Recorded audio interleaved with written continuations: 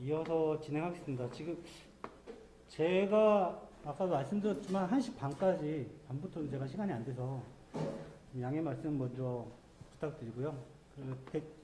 시간이 없는 관계로 뭐 아까 잠깐 말씀드렸는데 오늘 교육이 어, 이 이런 교육을 지금 처음 하고 있거든요. 저도 그렇고 아이덱에서도 이 이런 교육을 작년부터 좀 계획을 하셔가지고 사실상 국내에는 이런 교육이 없는 걸로 제가 알고는 없는 걸로 알고 있는데 그러다 보니까 저도 그렇고 어, 시간 분배가 잘 안 돼서 원래는 조금 더 제가 해보니까 더 필요할 것 같아요 시간이 근데 오늘은 어쨌든 정해진 시간이 있으니까 그 시간 안에 최대한 설명을 드리고 끝내는 걸로 네, 노력해 보겠습니다. 그 일단 라이브러리 네, 이런 어, 파트들을 몇 가지 그려봤잖아요. 네, 이런 파트들도 있고 이거는 이제 커렉터들 파트들이고 그 다음에 그 208핀짜리 소켓 소켓을 그려야 되는데 소켓을 그냥 사실 208핀 소켓을 그린다기보다는 208핀짜리 IC를 그리시면 돼요. 네, IC를 그리고 소켓이라고 쓰니, 쓰면 뭐 소켓이 되는 거니까 그 소켓의 표현을 굳이 라이브러리한테 다 표현할 필요는 없죠. 그냥 208핀짜리 핀이 있으면 되는데 자 이거를 그려보겠습니다. 이거는 그냥 제가 그릴게요. 너무 오래 걸리니까 제가 그리겠습니다. 어, 기존에 했었던 프로젝트를 이어서 열어보겠습니다. 아, 오픈칩에 아이고 이거 아닌데 이걸 열면 안 되지.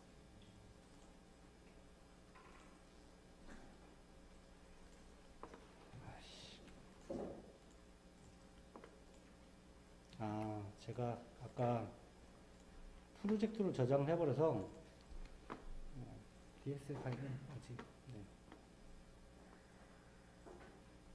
아시고요. 잠시만요.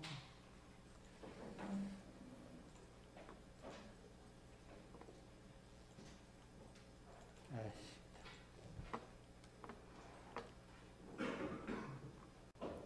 네, 아까까지 진행했던 게 지금 아까 뭐 스위치 몇개 있다 넣었었는데 다 저장을 안 해서 저는 날라갔네요. 그리고 제가 그 공유 폴더 통해서 라이브러리 드렸던 게 이렇게 쭉 들어가 있는데 사실상 여기 208 underbar SOC, SOC KET라고 소켓을 넣어놨는데 이거를 다시 한번 그려볼게요. 어, new part 이거는 이제 IC니까 U로 시작해야 되죠. U로 하는 게 좋겠죠. 어, 그냥 IDEC MPW라는 이름으로 집어넣겠습니다. 이거는 그냥 제, 저만 할게요. 여기다가도 IDEC MPW라고 집어넣고요. 208핀이라고 했잖아요. 아까 전통적인 방법으로 place pin 해서 하나 해서 1번 1번 해가지고 numbering을 하면요. 1, 2, 3 하는데 너무 오래 걸릴 거 아니에요. 그렇죠? 그래서 여기에 제가 따로 넣어놨는데 pin place pin array라고 씁니다. 이건 어딨냐면 일단 지우고 place pin array가 이건가요? 아니네. 예, 여기 있네요. place pin array. place pin array라는 게 있고 얘를 클릭하면 start name 정하고요. 어, 몇 개를 할지 정하고 이렇게 다 정할 수 있습니다. start name 1번, 어, name이랑 number 1번 정하고요. 핀 개수는 208개. 208. 증가는 하나씩 되고 pin space, 그러니까 핀과 핀 사이의 거리도 1로 지정해 놓고 오케이 하면 뭔가 쭉 생겼죠. 일단 그냥 놓아 볼게요. 놓고 보면 이렇게 해서 자동으로 208핀이 생겨요. 근데 이렇게 생기면 이게 너무 길잖아요. 보세요. 여기서는 여기서 1번부터 한 줄로 돼 있으니까 너무 길어서 만약에 얘, 얘를 한번 저장해서 불러볼게요. 제가 아이덱 MPW라고 했죠. 여기서 그 칩을 불러오겠습니다. 아이덱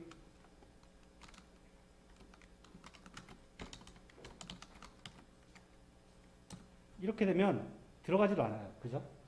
당연히 네모나게 만들어야 될 거 아니에요. 그래서 얘를 모양을 네모나게 좀 잡아주고 그냥 진짜 말 그대로 그리는 거예요. 그리는 작업이에요. 그래서 208을 4로, 4로 나누면 몇 편까지죠? 이거 보고 하겠습니다. 네. 제 왼쪽 열, 그러니까 보통 이거 회로도 볼 때, 그, 이제 나중에 다른 분들이랑 소통을 할 때 보통 시계 방향으로 많이 얘기를 해요. 9시 방향, 12시 방향 뭐 이렇게 얘기하는데 지금 어 9시 방향에는 52번까지 있고 53번부터 104까지 어 6시 방향이 있으니까 이 중에서 옮기는 거죠. 이렇게 이렇게 해가지고 그냥 잡아서 이런 식으로 옮기면 됩니다. 네, 어쨌든 이런 식으로 해서 네, 배치를 해서 다 하진 않겠습니다. 그냥 모양을 보여드리려고 이렇게 하고 너무 기니까 좀 줄이고요. 아이고.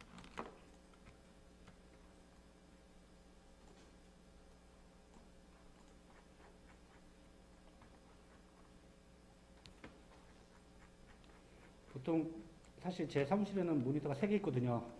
이거 작업할 때 데이터 시트도 열어놓고 해야 되기 때문에 어, 근데 지금 모니터가 좀 작아서 좀 많이 힘드네요. 이런 식으로 해서 어쨌든 이런 식으로 모양을 잡아서 어, 그리, 그리고요. 그 다음, 어, 그린 다음에 이게 다 잡혔다면, 다, 다 잡혀 있다면 그 외곽 라인을 따로 그려줘야지 안 그러면 어, 정확하게 표현이 안 되거든요. 그래서 여기 이렇게 외곽, 레- 외곽 라인을 따로 그려서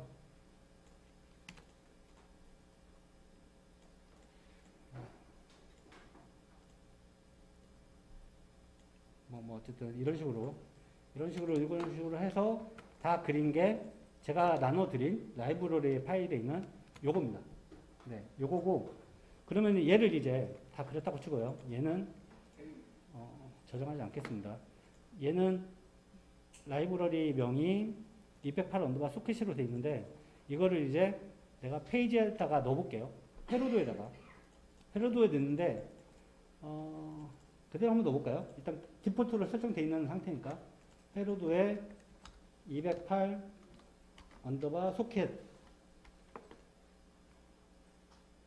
클릭해서 넣는데 페이지가 좀 작잖아요. 이럴 때는 그냥 삭제하고요. 이럴 때는 일단 그냥 닫고 닫겠습니다. 프로젝트에서 닫고 이 아까 열었던 게 이 페이지거든요. 동일한 페이지거든요. 이 페이지에 아 요건 따라하세요. 요건 네. 페이지에 오른쪽 마우스를 누르시고요. 거기에 어, page property를 설정할 수 있는 이 그 탭이 있습니다. 그러니까 schematic page property 해가지고 여기를 들어가서 어, 이- 내가 그리고자 하는 페이지의 크기를 정할 수가 있어요. 그 페이지 사이즈에 보시면 여러 가지 나와 있는데 그냥 제 기준입니다. 저는 어떻게 하냐면 밀리미터로 해요. 그래서 A4가 A4 용지하고 거의 비슷, 네, 여기에 A4가 A4 용지하고 똑같은 겁니다. 그래서 저는 대부분이 A3로 합니다. A4는 너무 작거든요. 회로도를 그리고 나중에 프린팅을 했을 때 A4 용지 안에 들어가 있으면 회로도가 좀 작은 편이라서 A3로 설정을 하고요. 대부분 A3. 아니면 좀 너무 회로가 많다. 그러면 A2도 많이 해요. 네, 가장 일반적으로 A3 선택한 다음에 확인 누르시면 이 페이지 1번이라는 게 A3 페이지로 변, 변했습니다. 그래서 더블 클릭해서 보시면 아까랑은 좀 달라졌죠. 많이 커졌죠. 네, 이거는 나중에 그 페이지에 대한 정보를 삽입하는 건데 이거는 나중에 그냥 말로 설명해서 제가 시- 실제 해놓은 거 좀 보여드리면서 설명드리겠습니다. 자, 이 상태에서 아까 다시 208핀 소켓을 불러올게요. 여기는 여러분들도 불러오세요. 네. 이렇게. 그러면은 이제 회로도 작업이 시작된 거죠. 최초로 내가 만든 페이지 1번 페이지에 어, SOC SOC가 208핀 소켓이 소켓 IC를 지금 이제 붙여 놓은 거예요. 물론 라인은 하나도 연- 연결이 되어 있지는 않은 상태고 부품만 갖다 놓은 겁니다. 잘 안 보이니까 가운데 이름을 좀 크게 해놓을게요. 이게 잘 안 보이잖아요. 그러니까 여기를 이 문구를 더블 클릭해서 사이즈를 좀 바꾸겠습니다. 누가 봐도 잘 보이게. 더 키워야 되나? 네. 네, 볼만하네요. 네, 이렇게. 그러면 이제 그 여러분들이 지금 보드 돌고 있는데 나중에 보드 보시면 아시겠지만 거기에 보- 그 보드에 붙어 있는 208핀짜리 QFP 소켓이 지금 그려진 거예요. 여기서 이제 모든 핀들을 빼야 되잖아요. 근데 어 페이지가 작아요. 지금 저 큰 보드를 제작을 해야 되는데 이 페이지에다가 모든 부품을 여기다 다 모- 집어넣을 수 없습니다. 당연히. 그래서 한 페이지 더 만들어야 돼요. 페이지를. 회로도 페이지. 다, 다시 프로젝트 가서 schematic에서 오른쪽 마우스를 누르고 new page. 그러면은 페이지 2번 나오고요. 오케이 하면 페이지가 하나 더 생성이 됐습니다. 그죠? 이렇게 하시고 여기도 마찬가지로 페이지 사이즈 들어가서 밀리미터 millimeters의 A3 정도 네. 하고 확인. 아 물론 여기를 어마무시하게 크게 만든 다음에 커스텀으로 무- 크게 만든 다음에 한 페이지에 다 그려도 되는데요. 아, 네. 나중에 회로도 보려면 힘들겠죠, 당연히. 그래서 나눠 그리는 거예요. 네. 이 회로도라는 건 사실 나 혼자 보는 게 아니고요. 나랑 연결되어 있는 모든 개발자들이 다 봐야 됩니다. 일단 아톡, 당연히 뭐 아톡 개발자도 당연히 봐야 되고, 그리고 이 보드를 사용할 사람들도 다 봐야 돼요. 그래서 회로도는, 회로도는 나 혼자 보려고 만드는 게 아니고요. 이 보드를 만드는 게 아니라 이 보드를 만든 다음에 어, 이 보- 보드에 소프트웨어 개발하고 하드웨어 관련된 여러 가지들을 개발하는 모든 사람도 봐야 되기 때문에 가독성이 되게 좋아야 됩니다. 그런 측면에서 아까도 제가 굳이 여기다 대고 만들자마자 208핀 크게 그림 그렸잖아요. 써놨잖아요. 이런 것 때문에 다 그런 겁니다. 자, 두 번째 페이지도 당연히 A3로 했고요. 아, 했구나. 네. 근데 이름을 좀 바꿀게요.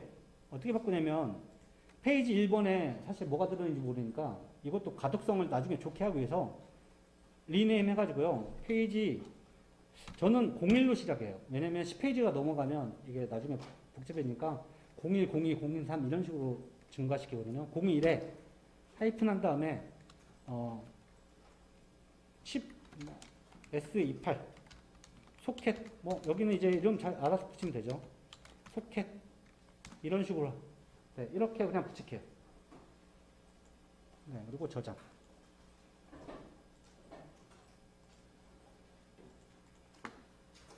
자, 그리고 이 페이지에는 뭘 그릴까요? 잠시만요. 제가 여기에서 보면 이 페이지에는 핀 헤더를 넣을 겁니다. 지금 보드 보시면 아시겠지만 소켓의 주위에 수많은 그 소켓들이 들어가 있어요. 보통 암놈, 순놈 이렇게 표현하는데, 네, 실제로 그렇게 표현하니까 그런 소켓들이 그- 들어가 있는데 이 소켓들을 넣는 이유는 앞서 음, 그림 보면서 설명드리겠습니다. 그 사실 근데 여기서부터는 사실 이 보드를 사용할 어떻게 사용할 건지에 대해서 어, 좀 이해를 하고 넘어가는 게 좋은데 이런 소켓들을 넣은 이유가요. 아까도 말씀드렸지만 FPGA의 모든 핀들과 FPGA 아 목적을 다시 말씀드릴게요. 자, 칩에 있는 모든 핀들을 FPGA에 연결하기 위해 이 보드가 사용되는데 연결할 때 아까도 말씀드렸지만 서두에서 처음에 말씀드린 것처럼 1번 핀이 VDD인지 그라운드인지 어떤 시그널인지 출력인지 입력인지 전혀 모르는 상태에서 이 보드를 어떤 칩이 들어가도 이 보드는 사용할 수 있게 되는 측면에서 이렇게 소켓으로 넣어놓고요. 그 보드에 보시면 잘 보이실지 모르겠는데 확대해 볼까요? 보드에 이렇게 확대를 해보면 한쪽 열은 칩, 한쪽 열은 FPGA 이렇게 되어 있습니다. 그러니까 실제 어떻게 되어 있냐면 이 칩이 208핀으로 구성되어 있는데 208핀을 모두 헤더핀으로 뽑아놓은 거예요. 이 소켓의 모든 핀들을 208핀을 주위에 뽑아놨고요. FPGA의 모든 IO들을 다시 헤더핀을 뽑아놨어요. 그러면은 그 점프핀이라고 하죠. 두 핀짜리 점프핀을 예를 들어서 1번에다가 딱 꽂으면 여기에 있는 1번이랑요. FPGA의 이 FPGA J8번의 1번 핀이랑 자동으로 연결이 되는 거죠. 수동으로. 수동이죠. 자동이 아니라. 헤더핀을 꽂으면. 그러면은 그 1번이 1번을 FPGA에서 어떤 데이터를 줄 수도 있고 받을 수도 있잖아요. 이런 식으로 설계가 된 보드입니다. 그래서 이 헤더핀들을 이제 보드에 구현을 할 거예요. 좀 더 쉬운 보드를 예제로 들었으면 좀 좋았을 텐데 아쉽네요. 어쨌든 네, 시작하겠습니다. 네. 네, 회로도. 이, 이 그러니까 이렇게 헤더핀을 만들게요. 헤더핀. 헤더핀을 보시면 이거를 그려야 되는데 자 2열짜리 2열에 52핀짜리 헤더핀입니다.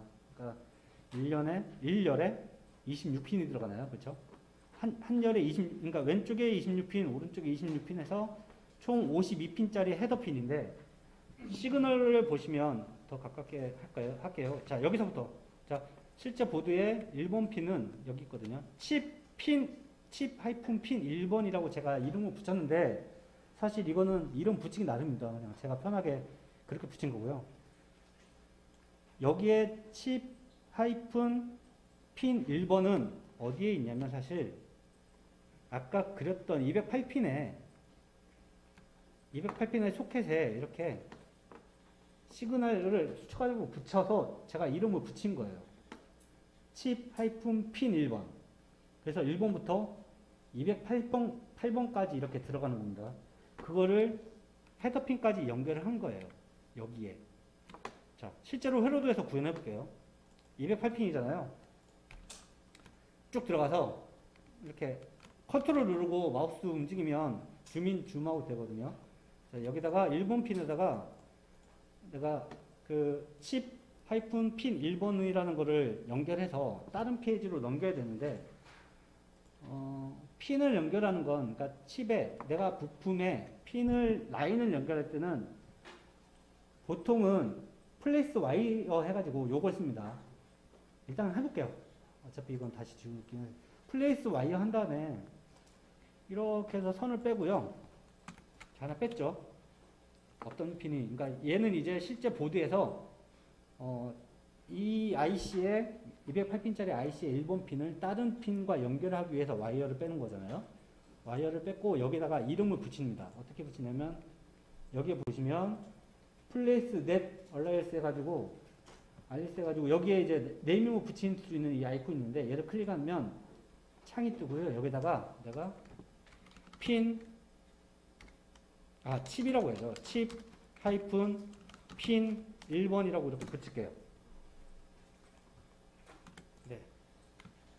자, 이렇게 해서 회로도를 보면 이걸 분석해 보자면 이 208핀짜리의 IC는 1번부터 208번까지의 핀 번호가 있고요. 그 핀 번호에 1번 핀의 이름이 칩 하이픈 핀 1번인 겁니다. 솔직히 이렇게 해놔도 누가 뭐라고 안 해요. 거꾸로 붙여도. 회로도에 문제가 있는 것도 아니고. 근데 당연히 보기 안 좋으니까. 예. 이렇게 해놓는 거죠. 그리고 2번 핀 컨트롤 C 해서 요거 복사한 다음에 붙인 다음에 얘는 끝에 자리만 2번 하면 2번 되는 거고요. 근데 문제는 뭐냐면 여기에 이렇게 표현한 이걸 이 그림을 이거를 그 와이어를 연결할 때 사용했던 place wire는요. 이 페이지에서만 허용이 됩니다. 그러니까 예를 들어서 제가 이거를 연결한 다음에 이거를 복사해서 아까 이 페이지 있잖아요. 자, 이 페이지에 아, 일단 이 페이지 만들었으니까 여기도 아까 52p짜리 헤더핀 넣을게요. 헤더 핀 한 다음에 어, 26 by 2가 되는, 되는 거죠. 어, 여기 있다. 헤더 26 곱하기 2짜리 요거거든요. 예. 요거 일단 하나만 넣어놓고요. 여기다가 자 1페이지는 이게 있는데 얘를 이것까지만 놓으세요. 제가 지금 하는 거 하지 마시고 여기까지만. 자, 여기에 1, 2번 핀을 복사해서 여기다가 이렇게 집어넣으면 1페이지에 칩핀 1이랑 2페이지에 칩핀 1이랑 그냥 연결될 것 같잖아요. 연결 안 됩니다. 실제 하드웨어적으로 나중에 캐, 그 아트웍을 할 때. 이 시그널은요. 이 place wire는 같은 페이지만 그 적용되는 거예요. 그래서 지금 1페이지의 얘랑 2페이지의 얘랑 이름은 같지만 전혀 다른 시그널입니다. 그래서 이거를 연결을 하려면 따로 off page connector를 사용 그 와이어를 사용해야 돼요. 얘는 지우고 자 오프 페이지 와이어는 어디 있더라? 여기 있네요. place off page connector. 아이콘 중에 보시면 place off page connector라고 있습니다. 얘를 클릭해서 보시면 두 가지의 이 심볼이 나와요. 얘는 만드는 거 아닙니다. 있는 거 쓰는 거예요. 얘는 만들어 쓰면 되지도 않고 네, 적용도 안 될 거고요. 다시 한번 여기 심볼 중에 아 큰일 났다. 네, off page place off page connector 해서 두 가지가 있는데 둘 다 쓰셔도 돼요. 여기 보시면 입력이나 출력에 따라서 모양이 좀 다른데 사실 이거 구별 안 합니다. 회로도에서는. 그래서 저는 입력이든 출력이든 그런 거 무시 안 하고 그냥 모든 그 off page 그러니까 페이지가 넘어갈 시에 연결하려는 시그널들은 무조건 이거 아무거나 사용해요. 요거 해서 하나 갖다 놓고 일단 복사해 놓고요. 얘를 돌려야 되잖아요. 얘랑 연결해야 되거든요. 얘랑. 이렇게 이렇게 연결할 수가 없어요. 그래서 얘를 이 부품을 어, 180도 돌려야 되는데 어떻게, 어떻게 돌리냐면 선택한 다음에 오른쪽 마우스 로테이션 하면 90도씩 돌아간다. 90도 한 번 할 때마다. 그래서 두 번 하면 180도가 돌아갈 거예요. 이렇게. 그리고 얘 지우고요. 얘를 앞에다가 가져다가 이렇게 해서 연결하는 거죠. 이렇게 연결한 다음에 여기 사이는 place wire로 해야 돼요. 네.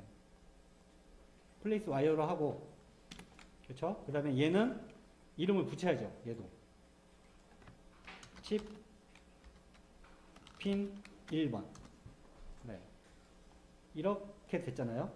그러면 얘는 이제 다른 페이지에 얘 그대로 복사해서 이 페이지 간 다음에 여기다 연결할 거거든요. 아 이거 또 뒤집어야 되네. 붙인 다음에 또 뒤집을게요. 오른쪽 마우스 이때는 이거 쓰셔도 돼요. 그 horizontally 해가지고 mirror mirror도 되게 이걸 쓰시면 바로 뒤집어져요. 180도. 그래서 얘 붙이면 이제 이제 이 칩의 1번 핀, 칩 하이픈 핀 11이랑 이 페이지에 있는 J1 커넥터에 1번 핀이 연결이 되는 거예요. 이게 연결된 겁니다.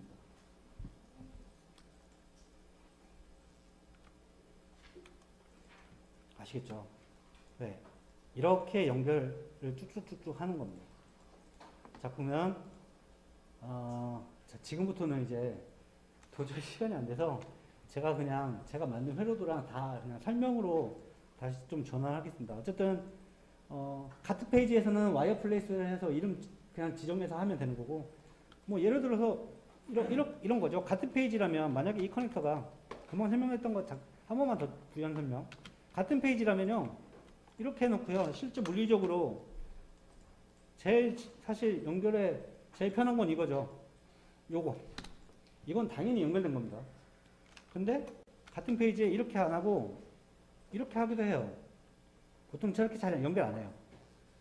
이렇게 하나 하고요. 이거 이름 붙입니다. 아까 여기 밑에 와이어에 ABC라고 적혀 있는 거에 칩핀 1 하고 이렇게 한 다음에 얘를 복사해서 이렇게 하면 얘 둘이 연결된 거예요. 이거 연결된 걸 어떻게 하- 아냐? 보세요. 와이어를 찍은 다음에요. 마우스로 와, 이거 그냥 보세요. 와이어를 찍은 다음에 오른쪽 마우스 누르고 select entire net 누르면 두 개 활성화되죠. 네. 이게 연결됐다는 뜻이에요. select entire net 다시 한번 보여드릴게요. 만약에 여기다가 더 연결해 볼까요? 이렇게 하고 좀 무식하게 테스트하는 다- 테스트하는 거니까 이렇게 해서 여기 다섯 핀 여기는 2번으로 할게요. 2번, 2번. 여기는 3번 이런 식으로 4번 이렇게 한 다음에 어 아까 같이 똑같이 여기다가 클릭하고 오른쪽 마우스 select entire net 해가지고 누르면 아시겠죠? 얘는 같은 이름으로는 다 연결이 된 거고 같은 이름이 아닌 건 당연히 연결이 아닌 거고 근데 아까 말씀드렸듯이 이 핀들은 이 페이지 안에서만 연결된 거 페이지를 넘어가려면 뭘 써야 된다? 네, 오프칩 커넥터 이 아이콘을 써야 된다. 이거 알아두시면 좋을 것 같고요. 어, 일단 그리고 다시 PPT로 좀 넘어가겠습니다. 일단 회로도는 좀 그렇고 그 다음에 제가 하나 더 좀 많이 많이 네, 설명드릴게. 아 그리고 여기 회로도 작성해서 제가 레귤레이터 레귤레이터 말씀 안 드렸는데 아까 부품 하나씩 이렇게 그리면 된다고 말씀드렸는데 데이터 시트 이 이거의 데이터 시트에 보면 typical application circuit 해가지고 보통 대부분 회로도 나와요. 사실 그 회로도를 보고 이렇게 그리는 거예요. 아까도 뭐 이거는 앞서 설명드린 것처럼 그러니까 이걸 어떻게 그렸냐면 잠깐 다시 한번 이건 보고 넘어가겠습니다. 레귤레이터 부품 선정할 때 예, 여기 있잖아요. 이거. 이, 이, 이 자료가 data sheet에 그대로 잘 나와 있어요. 잘 나와서, 잘 나와 있어서, 사실 저도 항상 그렇지만 대부분의 레귤레이터나 이런 IC, 쓰지, 그러니까, 어, 이런 IC들은 대부분 이렇게, 어, typical application circuit을 보고 대부분 구현을 하고, 근데 문, 근데 사실상 보드를 실제로 이렇게 딱 구현해서 보드가 딱 나와서 테스트 해보면 뭐 예를 들어서 내가 5V짜리 서킷을 딱 구현해가지고 실제 보드 나와서 테스트 해보면 5V 안 나올 때도 있거든요. 그, 그러면은 여기 저항값을 의도적으로 내가 바꿔가면서 테스트를 하기도 해요. 내가 정확하게 5V가 필요한 경우는. 어쨌든 어, 그건 그렇고요. 사실 제가 추가적으로 설명드릴 건 FPG 쪽이었는데 어쨌든 뭐 이런 부품들은 그렇고 FPGA 라이브러리를 그려야 되는데 제가 그 아까 FPGA 선정할 때 저희가 이번에 사용 이 보드에 사용했던 건 780핀짜리라고 말씀드렸잖아요. 이게 칩 하나 그린 거예요. 780핀을 이렇게 그려놓은 거예요. 근데 이거를 너무 반듯하게 해가지고 780핀을 넣으면 너무 많잖아요. 그래서 나눠 그린 겁니다. 그래서 보시면 세부적으로 이렇게 좀 당겨서 아, 아, 어, 네. 보시면 아이고 아이고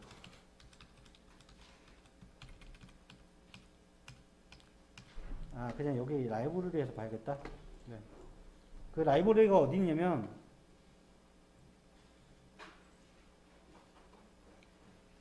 여기 있네요. EP4C12로 여기 있잖아요. 이게, 이게 제가 미리 그려놓은 건데, 더블 클릭해서 보시면, U 물음표 A라고 돼 있는데, 이게 A부터, 어, A부터, 자, control N 하면 다음 게 보이거든요. 자, B 있죠?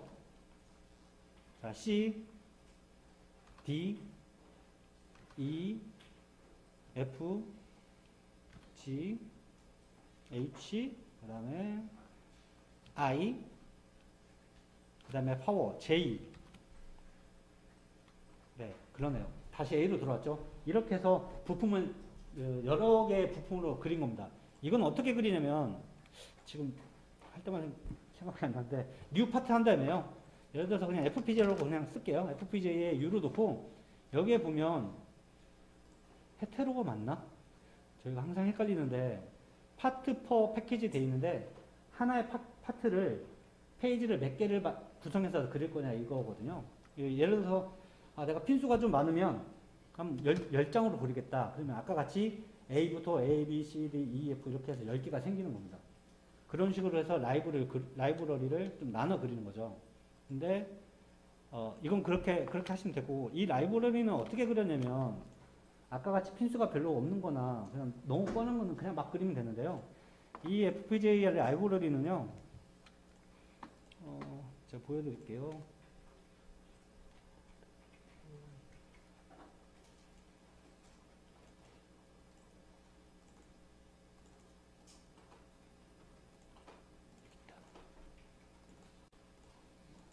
FPGA에 대한 data sheet를 제가 받아놨는데, 어, 요겁니다. 어, 요건데, 여기 링크 있으니까 링크 직접 가서 한번 보여드릴게요. 어, 인텔 홈페이지, 인텔 FPGA 홈페이지 들어가면, 어, pinout file for 인텔 FPGA 해가지고 이렇게 인텔에서 나오는 FPGA 모든, 모든 device에 대한 pinout 정보들이에요, 이게. 그러니까 packaging 정보예요, packaging 정보. 패키징 정보. 그래서 저희는 사이클론 4잖아요. 아마 밑에 있을 겁니다. 사이클론 4가 종류가 되게 많은데 아리아 10도 있고 아리아 5, 사이클론 10, 어, V, 네, 4 여기 있네요. 사이클론 4 디바이스에 대한 여러 가지 그 디바이스들의 핀 패키지 정보가 나와 있는데 이 중에서 어, pinout xls라고 해서 이 엑셀 파일로 따로 제공하거든요. 얘를 열어보면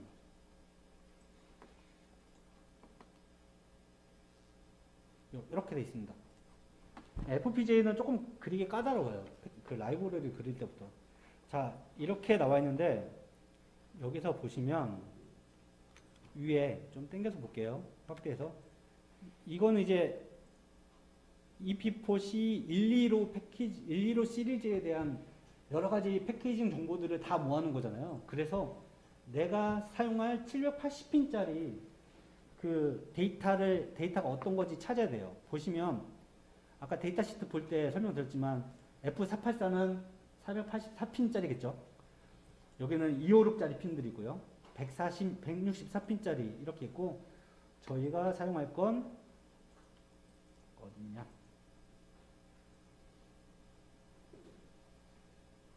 아 죄송합니다. 제가 파일을 따 다시 잘못 받았네. 115 받아야 되는데 15 받았어요. 115. 아 GX구나. 아 여기 있네요. 여기 있네요. EP4C 115 여기 있네요. 네. 다시 열겠습니다. 어, 이거를 열면 예, pin list에 여기 바로 보이네요. 이제 F780 보이잖아요. 우리가 사용할 건 780핀짜리 패키지. 그래서 얘를 보면 되니까 나머지는 지워버리든지 편집 편집 사용할까요? 편집 사용해서 이렇게 헷갈리니까 네. 이렇게 지우든지 뭐 줄이든지 해가지고 이렇게 보면 됩니다. 이렇게 해서 얘를 좀 늘릴게요. 이렇게 해서 늘리면 되고 예, FPGA를 써보신 분들은 뱅크 개념이나 이런 게 있을 건데 FPGA는 뱅크 개념이 있거든요. 뱅, 뱅크 아 이거 설명드리기 좀 어려운데 어, 떤 로직을 설계를 할 때 한 뱅크 안에 어, 하- 한 하나의 기능을 많이들 설계를 해요. 그 그런 것들이 그런 것들의 단위가 bank라고 보시면 되고요. 보통 bank가 뭐 3개까지 지원하는 거 4개까지 있는데 4개까지 지원하는 거 뭐 이런 식으로 device마다 bank의 개수가 다른데 얘는 8개를 지원합니다. 그래서 bank의 numbering을 보면 B1부터요. 쭉 내리면 B8까지 있습니다.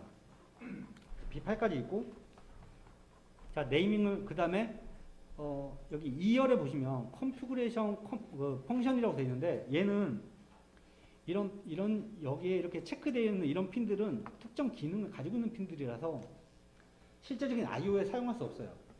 가급적 이런 것들은 I/O에 사용하지 말고 이거에 맞는 기능으로만 쓰셔야 됩니다. 그렇기 때문에 얘들은 또 따로 빼야 되고 그래서 일반 I/O FPGA 일반 I/O로 구현할 때는 여기 보시면 이런 것들이 아무것도 안 써 있는 예를 들어서 뱅크 1번에 C2번 핀 뱅크 1번에 D2번 핀 D1 H7 얘는 넘어가고 G5 E3 F3 이런 식으로 해서 쭉 구현을 해 놓은 게 이겁니다.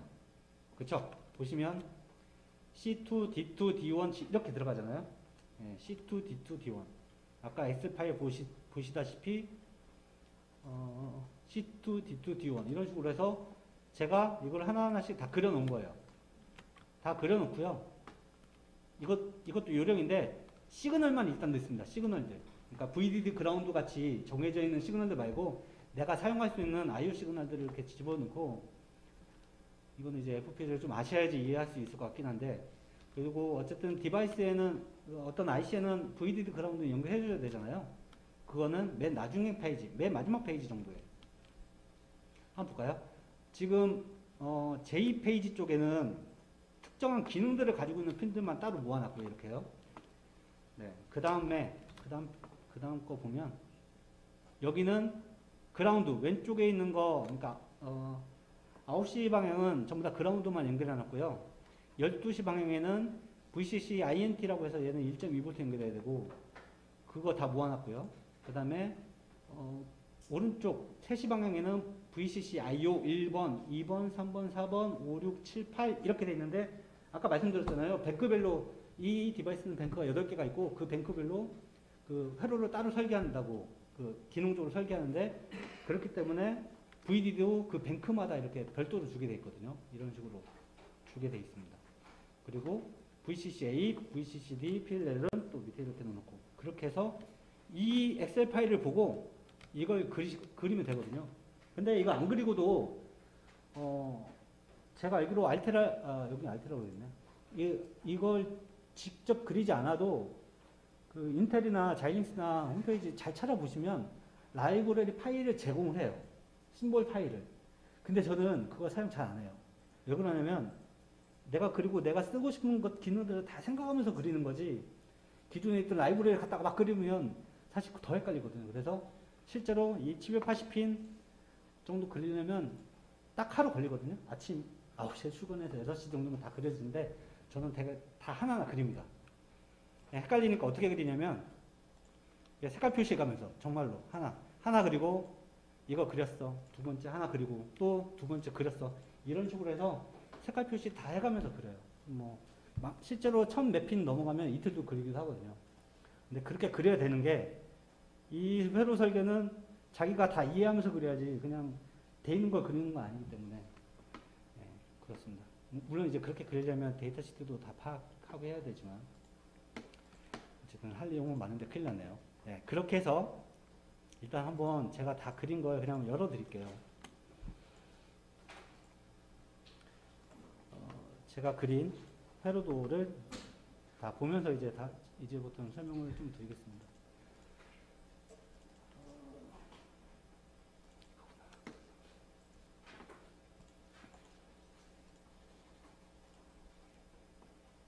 자, 요게 이제 실제 회로도거든요. 저는 항상 이 형태로 회로도를 다 만들어서 그리는데, 어, 아까 말씀드렸듯이 그 첫 페이지의 이름은 무조건 01부터 시작해서 뭐 001도 하셔도 되고요. 01로 시작해서 그 페이지에 뭐가 있는지 그리는데 보통 저는 첫 페이지에 타이틀이라고 이렇게 이름을 붙입니다. 그래서 타이틀을 만들어서 지금 버전 때문에 조금 틀어졌는데 이런 식으로 이 회로도에 가지고 있는 페이지마다의 기능들을 한 페이지 넣어놔요. 왜냐면 이게 보통 회로를 그리는 사람은 DSN, 그러니까 회로도 ORCAD에서 열어봐서 보지만 대부분의 이 보드를 사용하실 분들은 PDF로 보거든요. 왜냐면 이거는 내 자산이니까 주면 안 되죠. 당연히 내가 그린 거니까. 그래서 어, PDF로 드려야 되니까 그분들이 보시기 편하게 내가 내- 나 말고 다른 개발자들이 보기 편하게 전부 다 이렇게 타이틀을 좀 붙여놓습니다. 이름대로 페이지마다. 1페이지는 뭐 있고 2페이지는 뭐 있고. 그래서 지금 1페이지는 타이틀, 2페이지는 208핀짜리 칩 패키지가 있, 있다고 하고요. 3페이지는 208핀. 그 다음에 04페이지는 파워핀. 그 다음에 05, 05페이지는 FPGA를 그려놨는데 FPGA에 뱅크 1, 2, 3, 8을 넣어놨다. 아까 8개 있다고 그랬잖아요. 그리고 6페이지는 4, 5, 6, 7. 이런 식으로 싹 어, 모두 이렇게 작성을 해놓고요. 오른쪽에 리버전 된 거. 만약에 보드를 한번 딱 떴는데 잘못될 수도 있고 나중에 뭐 업데이트가 될 수도 있으니까 그런 거에 대한 버전 관리 이렇게 하시면 좋고요. 그 다음에 오른쪽 하단에 보시면 이렇게 페이지를 넣어서 이 보드가 어떤 보드의 어떤 보드인지 보드 제목 그 다음에 현재 페이지가 뭔지 전체 페이지는 10페이지고 그 중에서 이게 1페이지다. 근데 이게 좀 중요한 게요.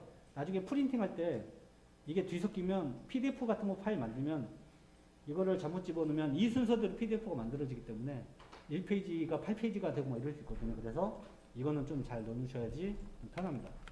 1페이지 이렇게 되고요. 2페이지 208핀 아까 말씀드린 것처럼 오프치 커넥터로 어, 시그널들을 다 연결을 해줬습니다. 1번부터 208핀까지 연결을 해줬고요. 이 모든 핀들을 이 페이지에 헤더 핀으로 다시 연결해줬습니다. 헤더 핀에 1번 아까 그 부분 볼게요. 왼쪽은 1번, 오른쪽은 아 왼쪽 아, 오른쪽이 1번, 어, 오른 어, 왼쪽이 2번. 그래서 홀스가 오른쪽, 짝수가 홀, 어, 왼쪽 이런 식으로 표현했고요.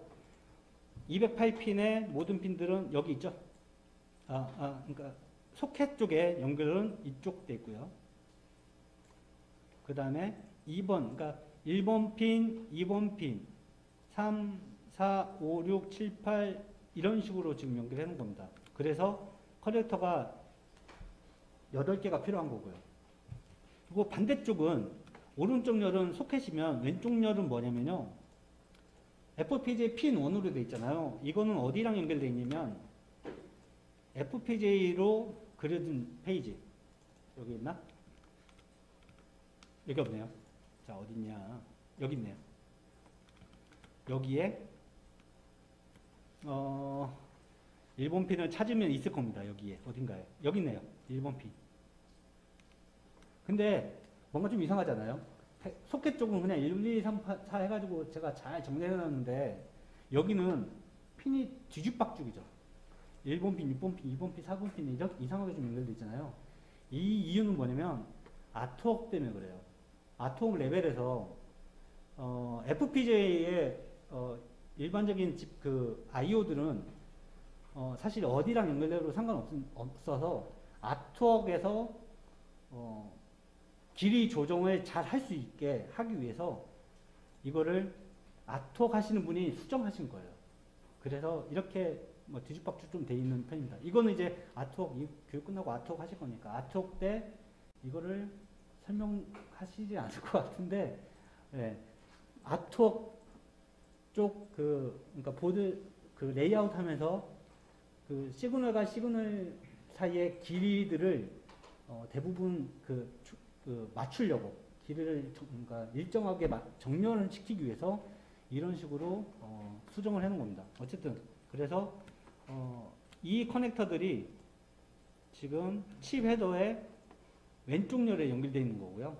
어, 칩 헤더의 오른쪽 열은 다시 칩 소켓에 예, 208핀이 연결되어 있는 거고 off page로 이렇게 되어 있고요. 그 다음에 뱅, 그 파워핀 한번 볼까요? 파워핀. 아, 이거 파워핀은 파워핀은 넘어가겠습니다. 이거는 괜히 더 헷갈릴 수 있으니까 파워핀 넘어가고. 뱅크 1, 2, 3, 8번 볼게요. 뱅크 1, 2, 3, 8번에 보면 여기는 뭘 연결해놨냐면 리셋 스위치. 리셋 0부터 1, 2, 3, 4 스위치 있고요. 그 다음에 LED 연결해놨고요. DIP 스위치 이렇게 연결해놨습니다. DIP 스위치는 피아노 스위치 같은 거 말씀드린 거고. 그 다음에 어, 뱅크 2번에는 UART 연결해놨고요. 그 다음에 SRAM들 쭉 연결해놨습니다. SRAM. 그리고 어, 뱅크 2번에서 모질라서 뱅크 3번까지 SRAM을 연결해놨네요. SRAM 얘기 나온 김에 SRAM 한번 볼까요? SRAM은 어디 그려져 있냐면 페이지 11페이지에 있는데요. SRAM. 어, 사용하고 있는 device는 어, CY7C1460AV33이라고 사이프레스라는 회사에서 나온 sync SRAM입니다. sync SRAM이고 어드레스가 20개 있고요. 나머지는 데이터 핀들이고 시그널 핀들이 있고 여기에 어, 이 칩의 동작 전압은 3.3V라서 SRAM 3.3V로 이렇게 연결을 해줬고요. 당연히 그, 그라운드도 이렇게 연결해 줬고요. 네. 그리고 FPGA configuration 쪽 한번 볼게요. 그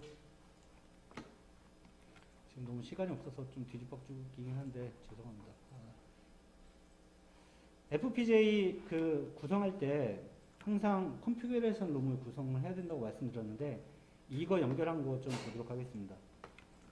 어, 여기에 보시면 어떤 거냐면 여기 여기 있네요. EPCS 64라고 이 device가 실제 FPGA의 그 플래시 롬으로 사용되는 거고요. 여기에 보면 데이터 clock NCS D0 해가지고 네 핀을 연결해서 이 네 핀은 FPGA랑 구성을 하게 돼 있는데 어 그냥 음 구성하게 돼 있고 네. 그다음에 그 FPGA JTAG이라고 해서 그 헤더핀 이거는 그 박스 헤더라고 돼 있는데 헤더핀 10핀짜리거든요. 2 곱하기 5에 10핀짜리 헤더핀을 헤더핀 있고 결국에는 그, 그 인텔 FPGA를 FPGA 데이터를 업로드할 때 JTAG 장비라고 있어요. 한번 찾아볼까요? 뭐, 알테라, 알테라, JT, 요런, 요런 장비들입니다. 요런 장비. 어, 대충 보시면, 제가, 제가 많이 쓰는 건 얘인데, 얘, 얘도 뭐 잘 되긴 하는데, 이 그림 볼까요? 그림. 네. 여기에 보시면, 이게 이 커넥터를 꼽는 거예요. 아까 그 커넥터가.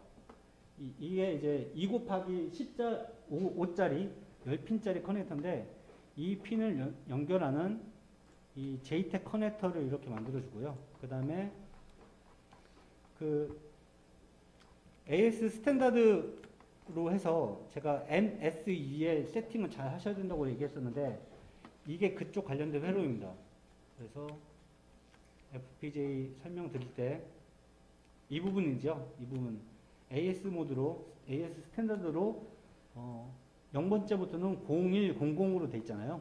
이거를 회로로 표현한 게 요 회로입니다. 그래서 얘는 이게 어, 여기 보시면 저항들이 있는데 이렇게 되면 어떻게 들어가냐면 MSE의 제로에는 이건 NC라고 해서 납 커넥션이거든요. 말 그대로 이 저항은 연결 안 하는 거예요. 조립 단계에서. 그래서 회로는 이렇게 돼 있지만 부품 자리는 있지만 여기는 조립 안 하고요. 여기만 조립해 놓습니다. 그러면은 이쪽이 그라운드랑 연결돼 있잖아요. 이쪽이 그라운드랑 연결돼 있고 영음이니까 여기도 그라운드예요. 그러니까 결국에 이 시그널은 0이, 0이 되는 거죠. 예. 그리고 여, 이 어, MS의 1번은 여기는 0이고 여기는 NC니까 위로 연결돼 있죠. 이렇게. 그래서 얘는 3.3V가 연결이 되는 거고 이런 식으로 해서 어, 밑에서부터 보면 0, 1, 0, 0의 회로를 구현을 한 겁니다. 네. 그렇게 해서 어, MSEL 세팅을 한 거고요. 이거는 지금 같은 페이지의 시그널이잖아요. 이거 어딘지 한번 볼까요? 오른쪽 마우스 entire net 해서 보면 여기 있습니다. 이건 뭐냐면 이 칩은 EPCS, EP, EP4C 115 칩 FPGA에 어, I에 I 페이지에 그려져 있는 패키지에 예, MSE하고 연결이 되어 있는 거죠. 이렇게 돼 있고 어, 이것도 한번 볼까요? 얘는 oscillator입니다. 제 처음에 서두에서 말씀드렸지만 FPGA는 내부에 clock 어, 능동 clock을 가지고 있지 않거든요. 그래서 외부에서 clock을 무조건 연결해줘야 돼요. 그래서 이 oscillator를 사용하고 oscillator의 part number는 ASC5, C52 50.000MHz 이렇게 되는데 50메가죠? 누가 봐도 50메가짜리 어, oscillator clock이고 VDD 얘는 1.8V로 동작하는 oscillator입니다. 그래서 1.8V를 걸어주고 출력으로 oscillator를 연결해 준 거예요. 그리고 옆에 요 표시 보이시죠? 요거는 테스트 포인트입니다. 테스트 포인트. 왜 보드 보면 그 찍어볼 수 있게 동그랗게 이렇게 자리들을 하나씩 마련했거든요. 그 자리예요. 이렇게 해놓으면 이거 없으면 찍어볼 수 없습니다. 그래서 찍어보려면 내가 보드 만들어서 아 여기에서 50메가가 진짜 나오는지 한번 체크해보고 싶다 그러면 이런 식으로 테스트 포인트를 많이 해놔요. 보시면 여기다 해놓고 밑에다 해놓고요. 이걸 oscillator도 해놓지만 전원 쪽도 한번 볼게요. 갑자기 또 넘어가네. 전원 쪽도 이렇게 해놨습니다.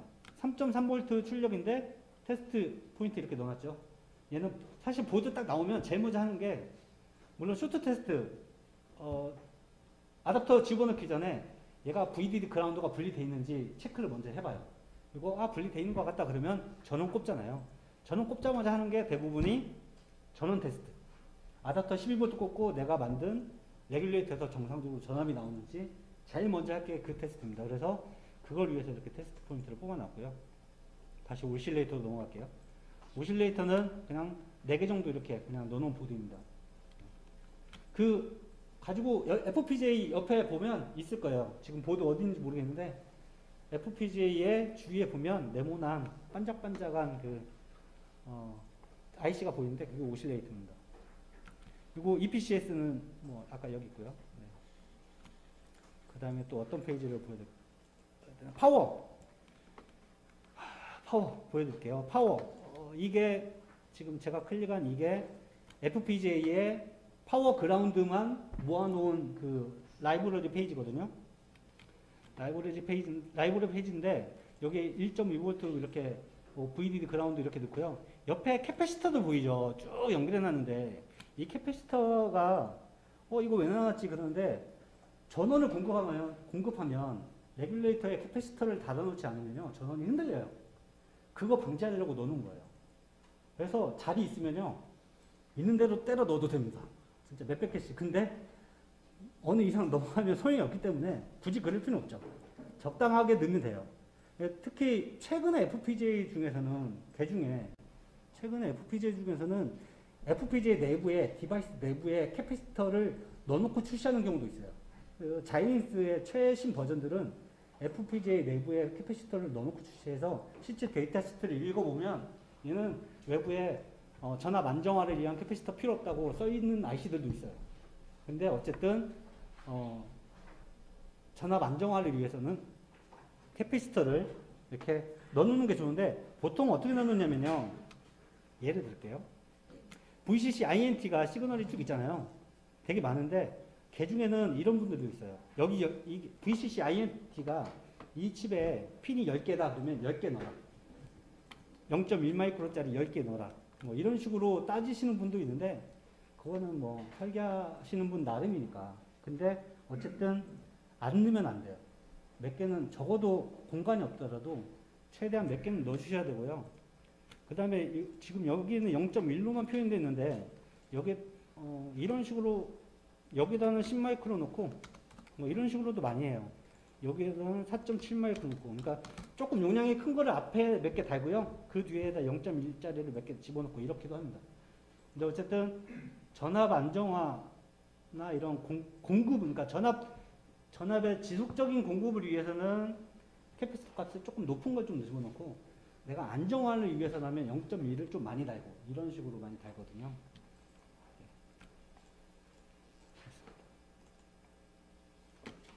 스위치들이고요. 스위치는 어, 이런 식으로 연결합니다. 스위치가 연결, 그러니까 스위치가 눌리지 않으면 그라운드로 빠지니까 항상 그라운드로 있다가 스위치를 누르면 3.3이 들어가니까 high가 되죠. 그래서 누르면 high, 떼면 low 이런 식으로 표현하고요. LED도 예, LED도 이렇게 되어 있고요. 전압이 여기가 high면 켜지고 low면 떨어지고 이쪽 DIP 스위치도 마찬가지입니다.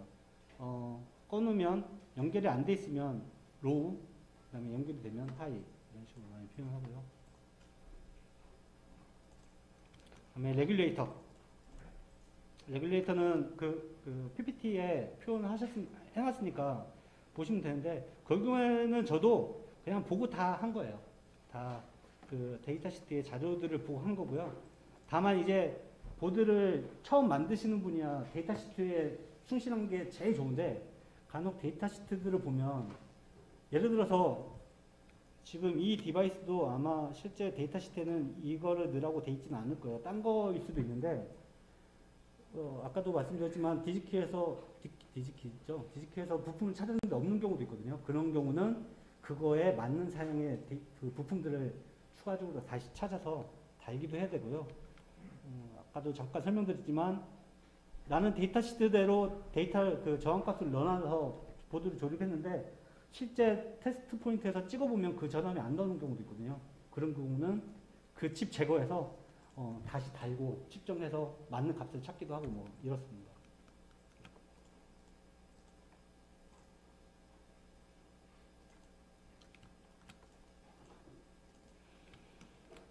아, 네. 네, 너무 시간이 없어서 아 정말 제 입장에서도 너무 아쉽네요. 그러니까 천천히 했으면 저기 서현 선생님 다음에 할 때는 한, 한 시간 아직 안 되고 한 두 시간 들려야 될 것 같습니다. 어쨌든 저도 처음 해보는 교육이고 어 그리고 또 오늘 그 오아캐드를 전혀 모르시고 오신 분들도 계셔서 그분들한테는 정말 더 어려운 교육이었을 것 같고 거기다가 또 FPGA라는 되게 생소한 디바이스를 막 한참 설명해 버려서 근데 그 나중에 MP 그 강의 제목이 그렇지만 그 MPW 진행해서 칩 테스트 할 때 디지털 칩들은 대부분의 FPGA랑 연동해서 테스트를 하기 때문에 그리고 나중에 칩 개발할 때도 FPGA 사용은 기본이거든요. 어쨌든 이쪽 분야에 오셨으면 FPGA를 모르면 안 되기 때문에 어, 설계, 보드 설계부터 뭐 나중에 실제 HDL 코딩 설계, 칩 개발까지 FPGA는 어, 벗어날 수 없기 때문에 그거는 미- 좀 많이 보시고 어, 나중에 공부 더 하셔서 오시면 더 좋을 것 같고요. 궁금한 거 있으시면 저는 지금도 보드 개발을 어제도 했었고 내일도 계속 해야 되고 하는 사람이라 어쨌든 보드 관련된 내용 어, 보드 관련해서 궁금한 거 있으시면 언제든지 연락 주십시오. 네, 여기 메일 있으니까요. 네, 연락 주시면 최, 뭐 최대한 알려드릴 수 있는 선에서 알려드리고 설계는 못 해드립니다. 설계는 돈 받고 해드리고요. 당연히 네, 모르시는 거 있으면 궁금한 거 있으시면 어, 메일로 연락 주시면 감사하겠습니다. 네, 감사합니다.